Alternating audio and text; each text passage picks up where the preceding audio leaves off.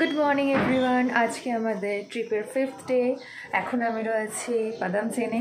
একটু পরেই আমি বেরিয়ে যাব আড়িতারে স্নান হয়ে গেছে ব্রেকফাস্ট হয়ে গেছে। আমাদের সাড়ে নটার সময় গাড়ি আসবে। তো গাড়ি আসলে আমরা রেডি একদম পুরো বেরিয়ে পড়ব। তো আমরা রঙ্গি মার্কেটে যাব প্রথমে। কিছু কেনাকাটি বাকি আছে। জানোই তো কেনাকাটি তো মেয়েদের প্রচুর থাকে, একটুতেও শেষ হয় না। তো ওখান থেকে কিছু কেনাকাটি করব। দেন আমরা বেরিয়ে যাব আরিতার লেক ওখানে মনেস্ট্রি রয়েছে আরিতারে। আরও কী কী ঘোরা সাইসিং রয়েছে, সমস্ত কিছু আমাদের সাথে শেয়ার করব। কালকে থেকে শরীরটা অনেকটাই ভালো আছে। ওষুধ খেয়েছি, একদম ঠিক আছে। অ্যাকচুয়ালি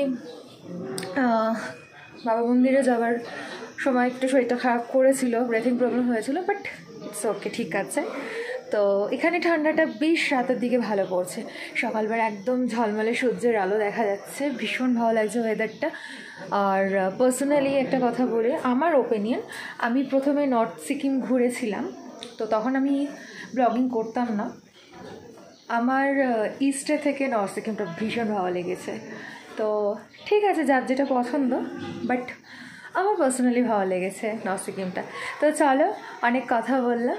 এবারে আমরা বেরিয়ে পড়ি আমাদের আজকের আড়িতারের জন্য। দেন তোমাদের সাথে তো দেখা হচ্ছেই আবার। লেটস গো আগের পার্টটাতে আমি বাদাম চেন বাবা মন্দির সমস্ত কিছু আমি তোমাদেরকে ব্লগ শেয়ার করেছি। আমি তাও ডেসক্রিপশানে লিঙ্কগুলো শেয়ার করে দেবো। তো এখন আমরা আরিতার লেকের কাছাকাছি চলে এসেছি। আর জাস্ট লাগবে এক ঘণ্টা। ওয়েদারটা দেখো কত সুন্দর লাগছে। আরিতারে এসেছি, আমরা এখানে দাদুল হোমস্টেতে থাকব। তো রুমটা চলো দেখিয়ে নিই আমাদের একদম দুতলার ওপরে রুমটা দিয়েছে। এখানে বসে খাওয়া যাবে। চলো আমাদের রুমটা দেখাই। এটা হচ্ছে আমাদের রুম যে বেড যা বেড দিয়েছে মোটামুটি দুজন থাকা যাবে, আর একটা পুচকোও থাকা যাবে।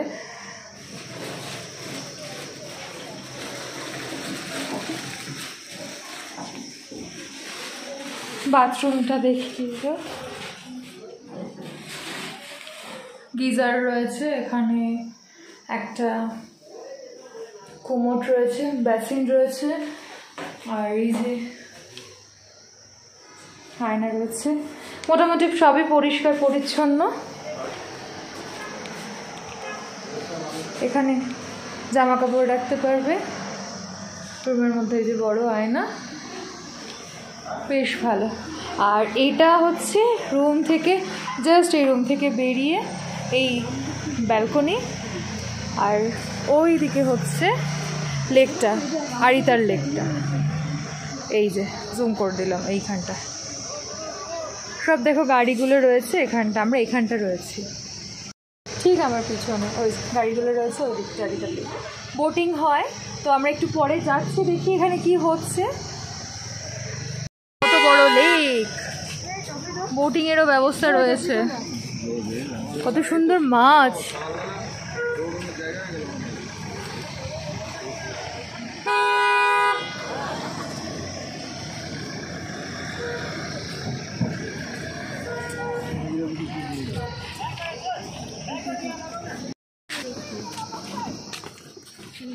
বাবা আরে কি রোদ গো? ভীষণ রোদ। তারপর তো রাতে ফাটাবে। কাকে হাত দিয়ে ডাকছে? একটুখানি এসো।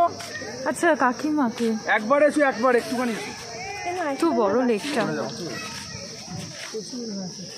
এই বলছি আর কি হবে অর্বন্দা একটা মানুষের বাড়ি একজন মারা গেছে। আরে বাবা সেটা তো বুঝেছি। আমরা তো আদার্স কাস্ট আমি তো প্রথমে এসে একবার জিজ্ঞেস করি কারা আধার কার্ড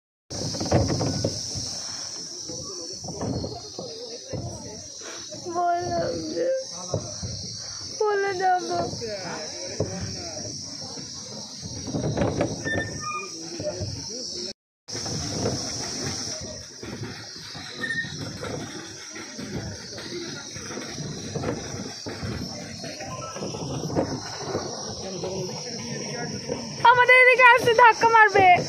ধাক্কা মারছো কেন?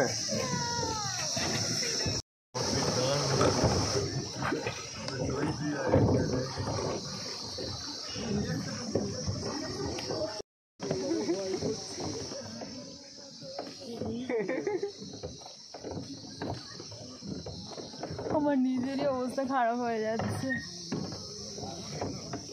কোন দিকে যাচ্ছে?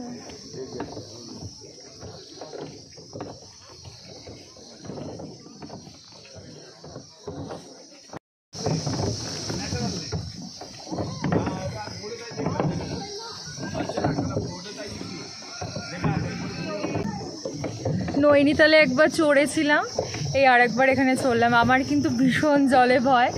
মানে আমি ফার্স্ট টাইম নিজে প্যাটেল করছি। বাবা আমি তো পায়ে হাতে পাচ্ছি না। চলো। আড়িতারে এত ঠান্ডা বলে বোঝানোর নেই, সবাই মিলে আমরা আগুন পোহাচ্ছিলাম আর আমাদের বার্বিকিউ চিকেনের করার কথা ছিল। কিন্তু অনারের রিলেটিভ মারা গেছিল বলে ওই দিনকার আমরা কোনো কিছু ওখানে পোড়াইনি। শুতে পারব না